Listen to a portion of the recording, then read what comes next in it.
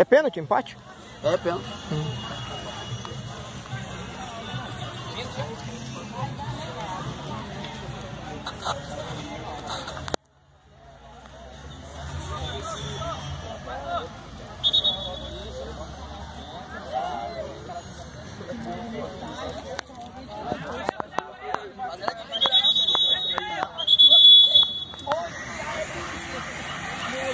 Muito bem, galera. A todos vocês aí, um grande abraço.